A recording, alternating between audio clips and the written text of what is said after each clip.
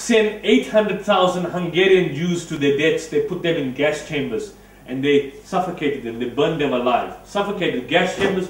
They started taking poison gases and their intestines and their stomachs started bursting open. The Israeli Supreme Court virtually whitewashed Kastner's crimes because to admit them would have denied Israel the moral right to exist. So someone tell me what's it all about? Summarize it for me. What do you have here? We look at the chairman of the Zionist organization in Hungary. Who was he? Rudolf Kastner. From 1943 to 1945. What happened in 1943 to 1945? What was it? Second World War. What happened in the Second World War? Holocaust. Heard of the Holocaust? They talk about the Holocaust, the killing of the Jews. Now this guy here, he's the head of the World Zionist Organization. He says we'll strike a deal with Nazi Germany. You ensure that 800 of us, the leading Zionists in our community, we get safe passage to Israel. And we'll form Israel. Right-wingers. And then 800,000 Jews, these people who are non-Zionist Jews, you can kill them, take them. They're all yours. They're all yours for the taking. So in exchange for setting up Israel, they had the killing and the mass murder of the Jews, their own people. So this whole idea now that Zionism is pro-Jewish is wrong because it's not pro-Jewish. In fact, the, the formation and the basis for the creation of the State of Israel was formed on the basis of the deaths, which their own people let them go down. Now, how much of this comes in the mainstream media? You don't see this. Even people who come and talk about Israel, they don't tell you the history, they don't tell you the historical background. That there was in fact collusion between Zionists and the Nazis in the Second World War. How many of us know one? He says here, David Ben Gurion. But before we, before we come to that, this is one, David Ben Gurion. Let me see if I can it, get his picture here. Uh, this man here. Unfortunately, the picture is not. He was the first prime minister of Israel. This is what he says. In a letter to the Zionist executive, the first prime minister of Israel, in 1938, December 17, this is what he says. He says the saving of Jewish lives, lives from Hitler, the saving, look what he says. The saving of Jewish lives from Hitler is considered here as a potential threat to Zionism unless they are brought to Palestine. When Zionism had to choose between the Jewish people and the Jewish state, it unhesitatingly preferred the latter. It preferred the concept of the Jewish state over and above the Jewish people. So the idea that the Jewish state was created for the Jewish people was not entirely correct. Because he said if it meant sacrificing Jewish people, we'll sacrifice, kill them all, but we must have our state, we must have our land. That's more important. Forget these people, let them die, let them be killed, who cares? So that's the basis behind these people here. Now, this was one group. The land that these kind of people and the Rothschilds, the Rothschild family and the agents wished to occupy were populated by the Arabs and they were populated by the Palestinians. But there was always only going to be one fate for them, these Palestinians. Yitzhak Rabin. Heard of Yitzhak Rabin? He was a guy who was assassinated in 19... 95. You remember that guy, Baruch, I think it was Baruch Goldstein. He killed him in 95. In the New York Times, writing in the 23rd of October 1979, this is what Yitzhak Rabin says. He says, we walked outside, in other words, walked in that land, like all your land you've got here in Braemar, this is all Israel. We walked outside, Ben Gurion, the first Prime Minister, accompanying us. Allon repeated the question, what is to be done with the Palestinian population? Ben Gurion waved, in, waved his hand in a gesture and he said, drive them out. Drive them out. In the 1917, 1918.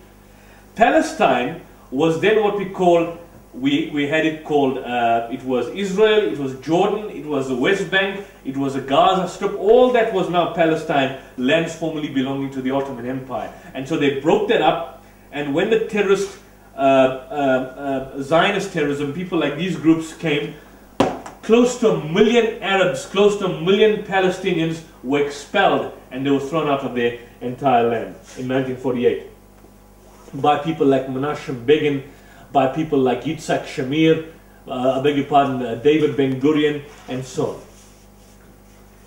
on. Um, an internet article which I picked up on the internet and um, something which is found here in respect of this particular group that you see here. One of the groups states that the motivation behind this, Stern, which was also a Jewish terrorist organization, they believed that the Jewish population should focus its efforts on fighting the British rather than supporting them in World War II, and that forceful methods were an effective means to achieve this goal. He differentiated between enemies of the Jewish people, example the British, and Jewish haters, example the Nazis, believing that the, that the British needed to be defeated and the Nazis just needed to be neutralized. Look how they train them. They train young kids Young children are being trained in the arts of warfare. Child soldiers. They're training child soldiers. They were responsible for what we call the King David bombing, where close to, uh, in 1946, the King David bombing in 1946, close to 91 Britons, Arabs and Jews, injuring many more, were slaughtered and put to their death. Assassinations as one of the uh, reasons for the creation of the State of Israel. In the World Socialist website, we read further uh, regarding an article on Ariel Sharon, because Ariel Sharon was one of the individuals behind this. He says, It is not simply that Ariel Sharon and company are a bunch of hypocrites or political amnesiacs. More importantly, the Irgun, led by who? Menachem Begin, one of the prime ministers of Israel in 1979, 1980. He was a prime minister, he was responsible for the bombing in his own land. Menachem Begin, the Stern Group and Lehi's successor, went on to form the Herut Party, forerunner of the Likud Party, and the ultra right wing Moledet Party, which was the main coalition partners of Sharon's governments. The gang of former generals, ultra nationalists, and religious bigots that run Israel today are the political heirs of terrorists who furthermore had close connections with the fascists. In this, they mirrored some of the Arab nationalists in Palestine who allied themselves with Germany in order to rid themselves of British imperialism. So these are the kind of people behind here, Anwar Sadat and Menachem Begin, birds of a feather, flock together. And these are some of the killings. This was what we see called the Deir Yassin massacre. The Deir Yassin massacre was something where people were beheaded children were being beheaded and their bodies and torsos were, it was a place called Deir Yassin. Um, you've got the facts here. David Ben Gurion was behind it, the first prime minister. Deir Yassin, they had people killed and they dumped their torsos in the river. They had children being beheaded. They exterminated them. The Deir Yassin massacre in 1941 at a place called Deir Yassin. Sorry, in, in the 19, after 1948, 1949 for the purpose of establishing the state of Israel, these massacres were necessary. So these were the kind of individuals who are behind what we see in the in the world today. This was a kind of brief, it's a brief background to what I have, and this is basically the formation in terms of how the state of Israel was formed. The Zionism being the forerunner to what we see in the world today. Um, and, and, and you look, for example, at, at the districts. Look at, the, look at the factors. Look at the population, destruction of Arab districts. In Jerusalem, in, before 1948, number of villages were 33. Number of villages today in Jerusalem, 4. Number of destroyed villages, 29. In Bethlehem, before 1948, seven villages. Number of villages today, zero. In Hebron, number of villages before 1948, 16. Number of villages today, zero. Jaffa, number of villages in in in uh, in uh, uh Jaffa in before 1948, 23. Today, zero. In fact, the total number of villages in all that particular area in Palestine before 1948 were 475. 475 villages. Today, the number of villages are close to just 90. What happened to all the rest? They were all exterminated. They were removed. They were eliminated. They were, and this is based on uh, a report by the, based on Israel Shahak. It's a report by the League for Human and Civil Rights. Arab villages destroyed in Israel, quoted in Davis and uh, 1975. So the data that you've got here is even to a certain extent incomplete because in certain instances the compiler found it impossible to locate Arab tribes. How come? When do you find it impossible to locate Arab tribes? When? When there's been systematic genocide. To the extent that there's no survivors. There's no survivors left. That's only when it becomes impossible to locate. You can't even look back at the history. The entire community has been destroyed. So that's a kind of brief background to the to the state of Israel um, and, and its formation, and particularly Zionist philosophy that's been included. I want to go on to another section. Like, how did the African Arabs emerge? Because now when you trace back, it's like, isn't the Jews? Uh, I'm saying the, the, the, African Jews, so to say. Because when you find that the Jews originally are from uh, the son of uh, Ibrahim, which is Esau. And now I want to know how did like they. No. When we say that we have Arab Jews and yeah. it down. It's the same. It's the same principle which you apply uh, to um, when I said that Jews are not a race. That's the main thing you need to understand. Jews are not a race, which means that you don't have such thing called a Jewish race. There are people from different backgrounds and communities who are Jews. You'd have Chinese Jews. You'd have African Jews, you'd have Arab Jews, you'd have white Jews, you'd have European Jews. These Ethiopian Jews are sometimes what they call, um, um, there's a name for them, I can't recall them, but they are Jews that have been Jews for centuries. They converted to Judaism. Uh, when there was the Egyptian bondage and when people came to Egypt and parts of Africa and the Sudanese basin, that's when these people came into contact and they became Jews as long as that. These African Jews have been Jews from time immemorial. The Sephardic Jews are Jews who are part and parcel of Israel, who were living side to side with Arabs. They are Semitic. They are themselves uh, basically indigenous to that particular region. Arab Jews, people like in southern Yemen, they are Arabs by nature. Like, for example, you've heard in the time of the Prophet Muhammad, when he had the alliances with the Jews. Who were they? They were not European Jews, they were Arab Jews. They were Arabs, but they were Jewish people. They were not a Jewish race the Banu Qurayza or the Banu Qaynuqa, the uh, Banu Nadir. All these were Arab Jews, Arabs themselves. So it was not a different race.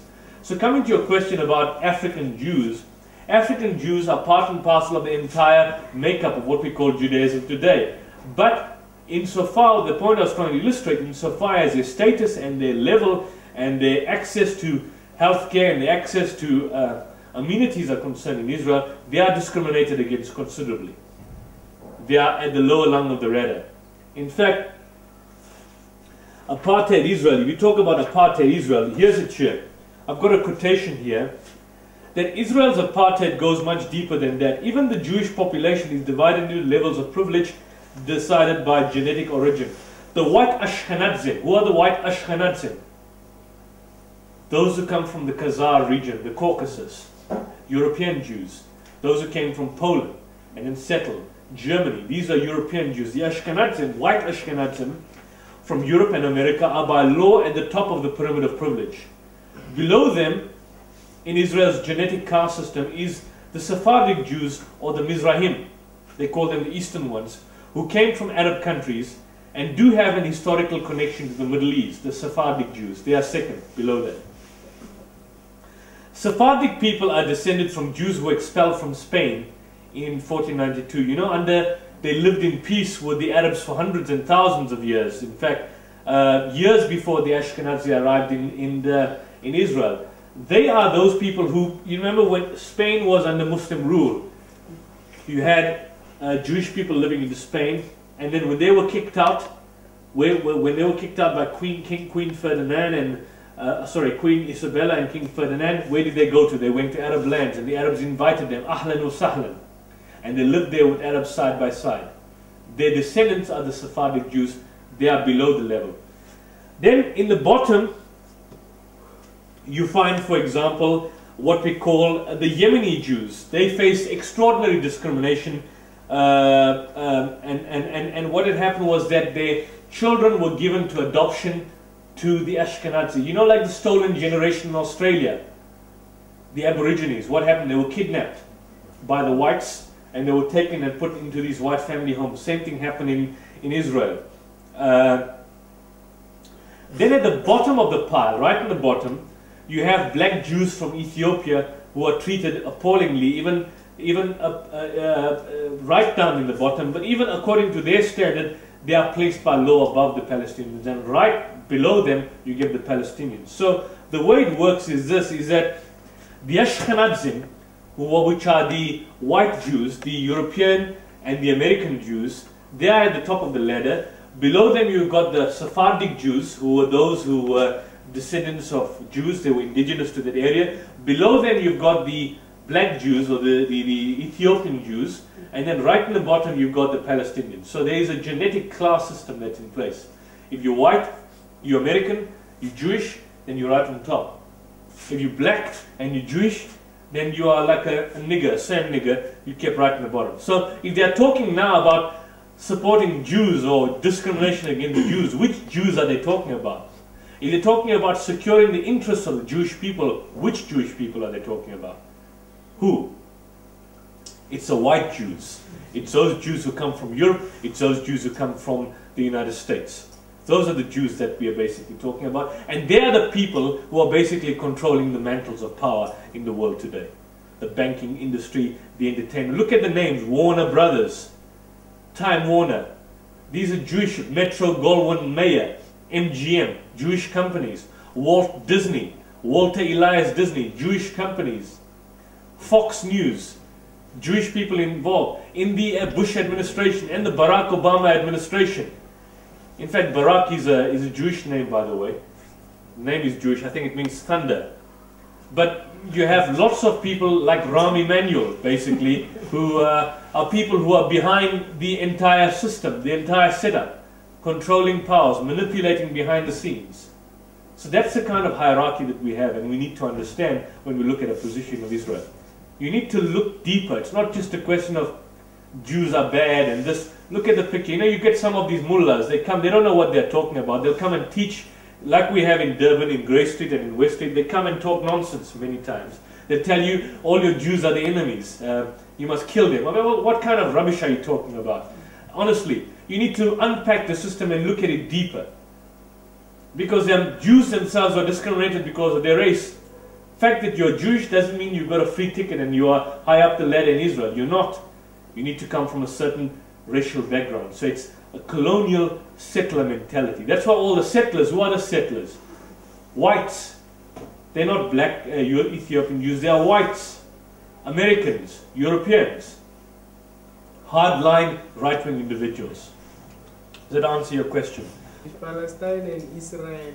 Can you take South Africa as an uh, example to uh, make me understand uh, differentiate between Palestine and Israel? Maybe like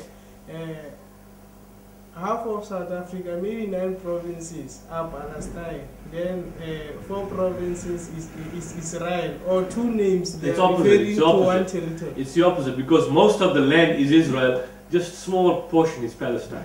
Palestine was a land. Palestine was a land before Israel was formed. That was a land under the Ottoman Empire. And it comprised of parts of Jordan, it comprised of parts of uh, Syria. All that was part of Palestine. Jerusalem was Palestine. All of that was Palestine.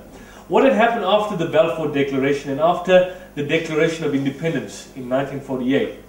That land was appropriated and it was renamed and called Israel. And slowly and slowly there were expansions taking place. Parts of the West Bank, parts of Jerusalem, East Jerusalem.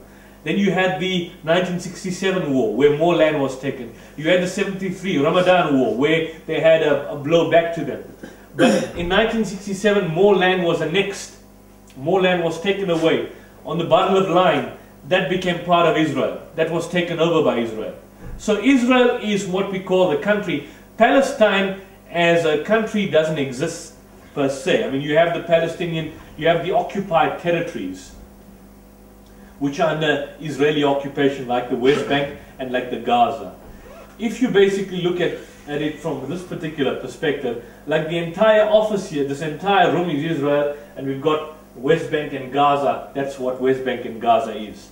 And that will form the Palestinian state, if a state of Palestine is ever declared, a separate state. So most of the land now has been taken over by, by Israel. What they've done now even more is that they've built walls You know the apartheid wall. So the walls basically isolate one community from the next community. And the more walls, the walls are basically forms of annexation. It annexes lands upon lands. Takes a, so for example, you have a village here, a village living side by side. They'll build a wall through that village. So it'll separate and divide the village. And they'll take over that land. They'd go to another place. They'd basically have where all the settlements are, they'll basically have walls, like the Berlin Wall over it. So in that sense, it's a form of taking over more and more and more land. And what these settlers are doing is that they're settling in more and more regions. There are more settlements. There are more settlements being taken place. More settlements being made in some of these areas, in Gaza, in West Bank. There's more settlements being done on a daily basis. So there's more appropriation being taken place. So to look at the situation, Gaza and West Bank, which would be the only, and, and parts of Jerusalem maybe, the only existing Palestinian state if Palestine was ever annexed, that would be Palestine. The rest would be Israel. So Israel is the majority. Palestine is the, it's a minority land that can be called Palestine. Yes? Yeah, about uh, citizenship, let me say the South Africans have immigrated to Palestine, to Israel, in the land Yeah. of Israel. Then they, it happens whether maybe uh, uh, they get a child from uh, in that land of, of, of uh, Israel. What is the ruling concerning a citizenship in regard to people who emigrated to Yeah, look, in terms of citizenship, what happens is that most of these people who emigrate to Israel themselves are Jewish and themselves probably have families in Israel. So what happens is that they then have dual citizenship. They would have citizenship in Israel and citizenship in, in South Africa, based on the fact that they've got families there. But as far as the laws of citizenship are concerned, Israel doesn't give citizenship to anyone. In fact, if I may just uh, uh, open the index here, if, if I've got something on citizenship, there's a citizenship law on page 183. This was implemented uh, in 1952, and this is what it states. If I could just read it out to you in terms of the citizenship law. Where we? 183. Yeah. Look, in terms of the Israel citizenship law, um, uh, they basically state here. If I'll give you an example, uh, for the Israeli Knesset, that's the Israeli parliament, a Jew for the purpose of the Israeli law of return 1950 is defined as follows. For this purpose of the law, Jew means a person who was born of a Jewish mother or has become converted to Judaism and who is not a member of another uh, religion. Uh, and further on, they basically state in terms of the mainstay citizenship law, uh, citizenship 17066 classes of citizenship, page 88 to page 89. Let me just see if, I, if this will give you a far more accurate uh, understanding here. 88, 89. Uh,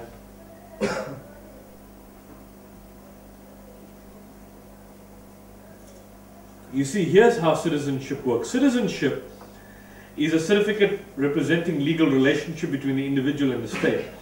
Democratic citizenship is a certificate representing the recognition by the state of the right of every citizen to equal access to the political process of the state. Now, here it says here, in the state of Israel, the right of a citizen classified in law as a non-Jew to partake in the political process is formally equal to the right of a citizen classified in law as a Jew in principle. Likewise, the standing of a citizen classified in law as a non-Jew before the courts of law is in principle equal to the standing of a citizen classified in law as a Jew, although in practice it's different.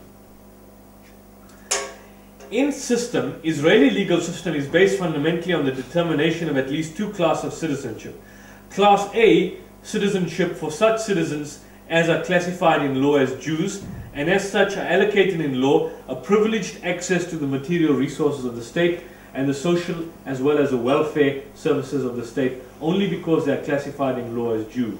Versus Class B citizenship for such citizens as are classified in law as non-Jews, like the Israeli Arabs. You see, they're not Palestinians, but they're Arabs who have lived in Israel and they've attained Israeli citizenship. They become Israeli Arabs namely Arabs, and as such are discriminated in law with regards to their rights to equal access to the material resources of the state, as well as the social uh, and welfare service of the state. So citizenship is quite limited.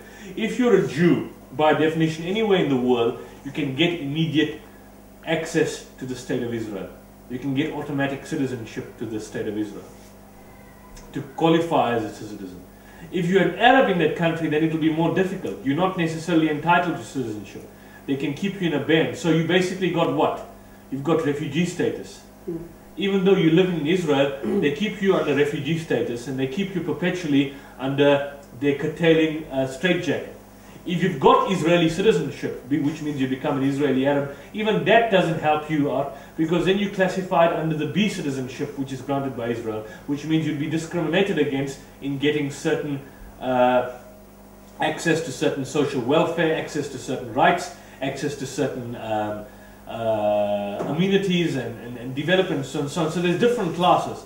That's why today, wrongfully so, it's against the law. Many Jews in South Africa go to Israel and they fight. They go and they participate in the kibbutz. Can you see? They, they, they are part and parcel of the system. They can get an automatic Israeli citizenship without even having families staying there. In the case of non uh, Jew, it will be far more difficult. Anywhere in the world, if you're Jewish, you want to go to Israel, you can attain citizenship. I wanted to ask about the Rothschild family. Yeah. What significant, significant role did it play on the establishment of the Israeli settlement? Well, that's what I told you earlier on. Um, the Rothschild banking family, Lord Lionel Walter Rothschild, uh, in fact, he was one of the individuals that was behind the World Zionist Congress. Most of the Rothschild banking dynasty, the family itself, were part and parcel of the Congress. And so the letter that was given by Arthur Balfour to Lord Rothschild was a declaration to Rothschild as a leader of the Jewish Zionists that your aspirations are basically going to be fulfilled and met in terms of Britain acceding to your requests and allowing you to declare a state of your own. So the Rothschild banking family were instrumental in, in many respects in terms of uh, uh, form in terms of the formation of the state of Israel. Uh, as far as funding is concerned, they, they, they, they formed a lot of uh, backing pertaining to the funding. Um, talk was that they even funded Hitler in the Second World War. Uh, you know, I spoke about this collusion that existed between the leading Zionists and the, uh, the, the Nazis in terms of uh, having uh, creating the safe passage for them to go to Israel in exchange for the killing of uh, the Jewish people. So they had quite a significant role to play, in fact, because they were leading bankers at that particular time in Germany, and certainly they were part and parcel of the elite uh, Jewish dynasties that existed at that point in time. They were Zionists, ultra Zionists, and they were a highly powerful family. And certainly the letter from Balfour was to uh, what's his name, to Rothschild, Lord Rothschild. The British Rothschild, because the Rothschild family, you had the British family and you had the German family, all related. Since the United Nations has been helping uh, these countries uh, uh, or fighting against these countries that are, are racist uh, uh, uh, uh, countries, like, well, like let's say here in South Africa, where you find that the blacks are oppressed by uh, by the white, uh, United Nations is trying hard to make sure that there is equality within the state. But now back to what is happening in Israel and Palestine. What is the role of United Nations? No, they've passed resolutions. They've passed resolutions upon resolutions in respect of the Israeli state.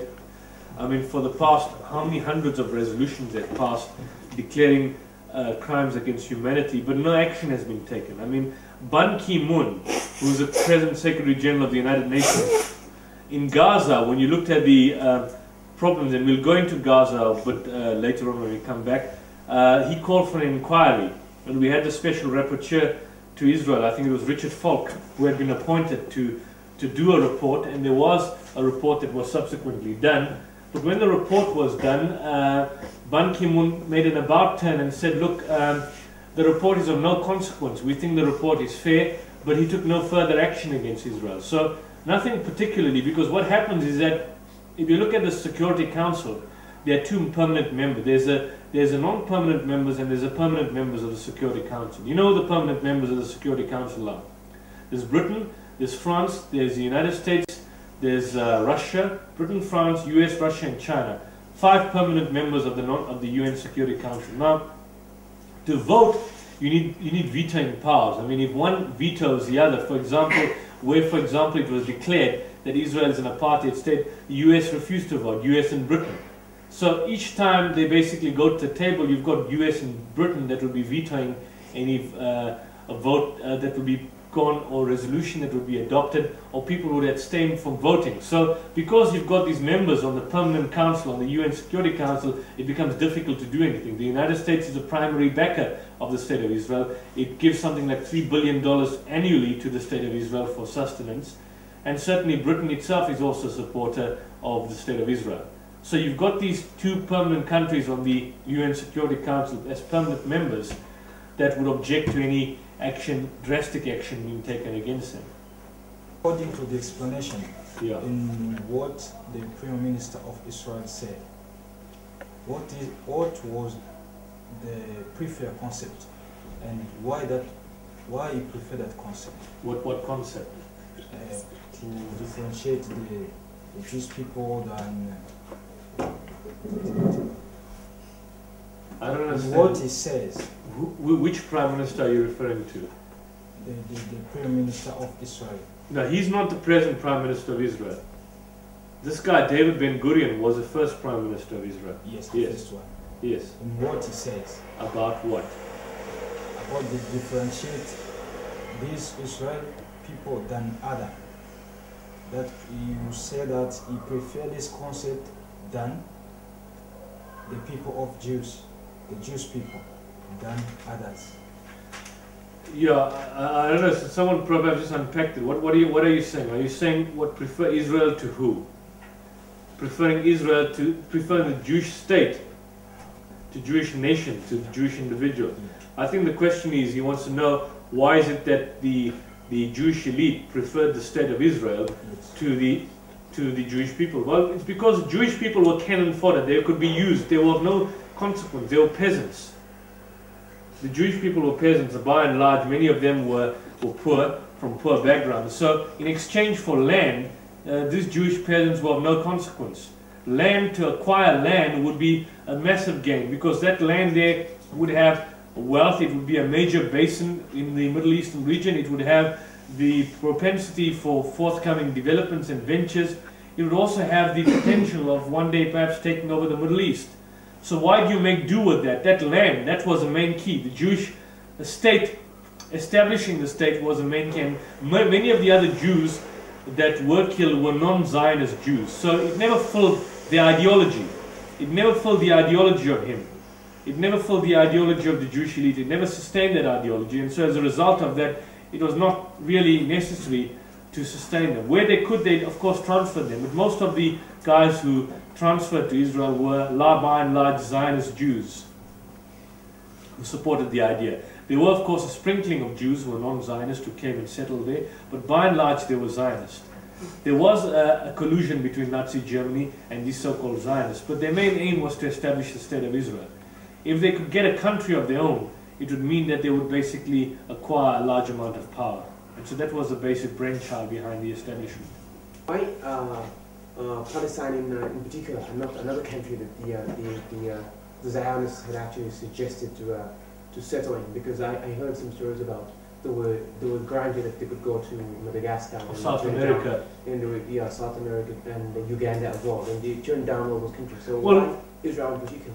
You see, here what they could get is, over and above getting a land, they say that they were promised that land, or 2,000 years ago they had that land.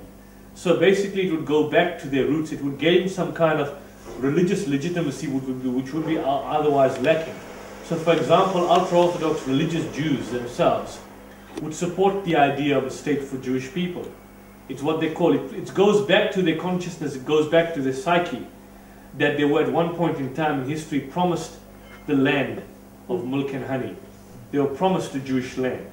Uh, having settled in Madagascar, Uganda would not have had the same effect. Having settled in Israel, it would take them back to their roots, what they claim would be their roots, although they never had roots because these were not even descendants of those people. Although they claim that, look, they have a historical connection. They were not even descendants. Their descendants, they were descendants of Sumerians, of people who came from the Khazar region, the Ashkenazi Jews. They were European Jews. They had no physical descent in that particular region. But they, gained or they, they kind of perpetuated this this uh, claim to Israel based on their on the on the historical question and based on the fact that at one point in time Israel was theirs or what they claimed to be theirs during the time of Jesus in Jerusalem. Even then it was under Roman occupation. But at one point in time, historically speaking, Israel uh, was what they could call the land of the Jews. So that effect of moving to Israel would fulfill what they asked for, what they wanted for because they were expelled. Even though they lived there, they were subsequently, they, they basically left on their own and they moved and they had different communities uh, from one part or the other. So as a fulfillment of that promise, which they claimed that God promised Moses, they would sought to gain legitimacy also from other religiously minded Jews in settling in Israel. That's the only issue that could be. So settling in Madagascar and settling in Uganda wouldn't have served their purpose because it wouldn't have had the same impact as settling in Israel would. That's the, the particular reason and rationale for that. But basically, uh, the sole aim and objective is to inform minds, to create that level of discourse, to show us that, look, you know, um, get the truth out there, get the reality, get the reality of the truth out there. Someone said, I think it was Gandhi who said that if, even if you are in a minority of one, then the truth is still the truth, even if you are in a minority of one. George Orwell, he wrote a book called 1984. Uh, he wrote a book called 1984 in the year 1948. That was after the post-Weimar Republic in, uh, uh, sorry, the, I believe the Weimar Republic was subsequently formed.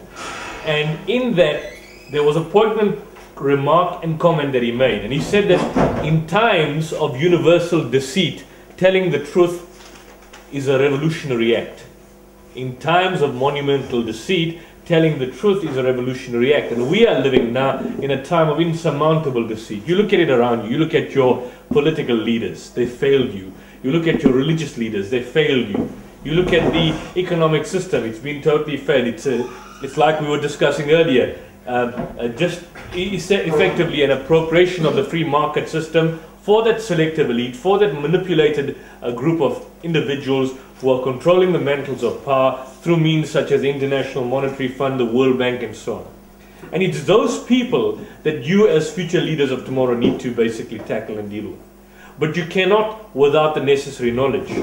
So, if, for example, we get caught up with the information, in the information that we get, which is highly censored or highly selective, or highly skewed in accordance with an established teaching tradition, then it becomes problematic. But if, of course, we are broad enough to accept different and diverse points of view, even though they might not be acceptable to us or they might be viewed as taboo in certain aspects of our society, like in Muslim community, so many issues you can't discuss openly and freely in mosques in, uh, in South Africa because they'll clamp down on you. But if we are open to see these various ideas, because then it gives us the indication that, look, we are brave enough and we are secure in our faith. We are not insecure. Because it's only an insecure mind that is not open up to new ideas and different points of view. A secure mind doesn't mean debating, changing. That's why even something like Iman or faith, um, Imam Ghazali said that um, you know he who has not he who has not doubted has not believed. In other words, doubt is a foundational basis for belief. If you haven't doubted, if you haven't reflected, if you haven't thought, then how can you truly be said to believe? Because your iman fluctuates from point to point. Same with thoughts, same with revolutionary thinking processes and so on. So it's good to see that if we are open to different ideas and we internalize them and we accept them, of course, propound new ideas, new theories, and in that way you can make meaningful change to societies around us. Now, where we stopped on the last time, we gave a brief history in terms of Zionism, right from the time of its inception, uh, beginning with Theodor Herzl, right through the Balfour Declaration in 1917, the collapse of the Ottoman Empire, the subsequent declaration in 1948, and its subsequent creation. Now, many of you, I think, were curious to know, I would assume, some of the organizations in the world today that purport to promulgate principles which are right-wing, which are Zionist, and which are, in a sense, pro-Israeli. Now, I think it's important to make the distinction because most of us do not, that you cannot, you do not necessarily have to be Jewish to be a Zionist. And contrary-wise, not every Zionist is a religiously practicing Jew. The very foundation of Zionism was what? Who was the founder? Was he a practicing religious Jew? No, he was not. He was an atheist, Theodor Herzl. He was secular-minded. It's a colonial construct. And you look at some of these particular organizations. This is an organization, as you see, is called the Anti-Defamation League. Now that's an oxymoron because defamation it's purporting to now state that anyone who defames any person, they will be liable to be prosecuted. Uh, it's a United-based organization. They describe itself as an NGO. Some would say it's an arm, an extension of the State of Israel.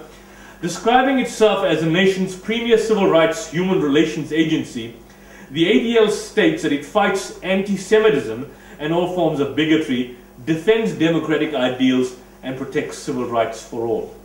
But who is this all? There are people like Richard Warman, for example, in Canada, who would who would go out of his way, to, he's a perpetual litigant, he'll go out of his way to prosecute you or to, uh, to, to institute an action against you for defamation if you say anything that is remotely critical of the state of Israel. And that's a magic wand. You, you, you place that magic wand of anti-Semitism and it creates a silence.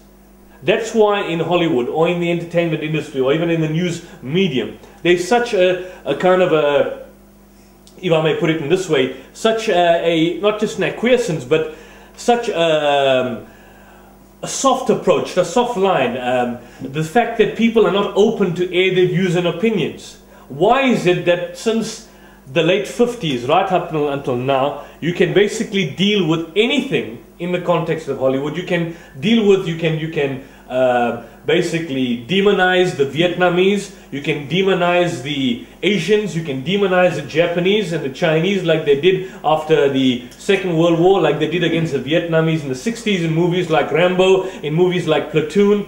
Um, sometimes aggressive varieties, you can demonize Arabs, it's totally acceptable to demonize them, movies like The Siege, Delta Force, Executive Decision, but somehow or the other it's always problematic to demonize the Israelis, or for example, even satire. You satirize anything that is remotely related to the state of Israel, you'll be clamped down upon. You'll be labeled as an anti Semite. You'll be labeled as a racist. It's because the system not just perpetuates that particular maintenance of the status quo, but many within the system are themselves also ideologues. That's why you look at the entertainment industry, Warner Brothers or Walt Disney or um, Fox News or uh, MSNBC or CBS or PBC or ABC, all these networks by the same system with the same idea and perpetuating the same bias and prejudice. That's why you find remarkable journalists like John Pilger or Robert Fisk, their works and their documentaries are never shown in, in, in the United States. Strangely enough, a country which purports to speak for freedom of expression and freedom of speech has selective censorship when it comes to certain particular issues.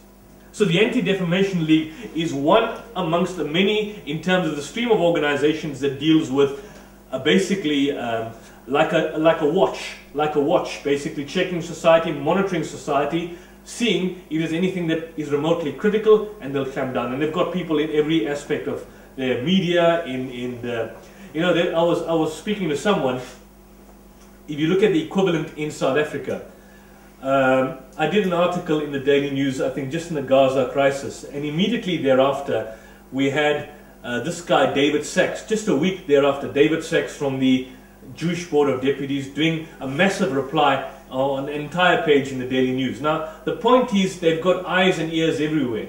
You've got websites, you've got housewives, Zionists or, housewives of people who are Zionist ideologues sitting at home and simply monitoring society to see mm. any developments in terms of critique, in terms of anything that is critical. Because the main aim is to always maintain the myth and maintain the fiction that Israel can never do anything which is wrong and Israel is always right. That's why you have this so much of emphasis, even in recent years, on the Holocaust. Why was there never any discussion on the Indonesian Holocaust? The genocide that took place under General Suharto? Why is there never a discussion on the Armenian Holocaust? in the 1918, the First World War. Why only on the Jewish Holocaust? It's because if you can create in the consciousness and the minds of people this idea of this massacre, of this genocide, then it keeps up and it perpetuates a fiction that that is a necessity for the state of Israel to exist. That's a justification for the state of Israel to exist.